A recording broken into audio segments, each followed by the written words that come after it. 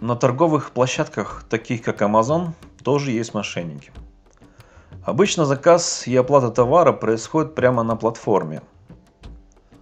Но австрийская платформа Watchlist Internet предупреждает о сомнительных продавцах. Они взламывают учетные записи независимых розничных продавцов. Предлагают товары очень дешево, берут деньги, но товар не отправляют. Как сообщает Watchlist Internet, все начинается с просьбы связаться с продавцом напрямую по электронной почте. В конечном итоге клиенты должны перевести деньги напрямую.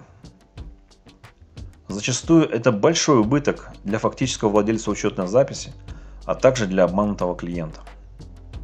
Если вы хотите обезопасить себя от этого, вам следует внимательно прочитать информацию о продавце, как бы правдоподобно и заманчиво не звучало описание товара.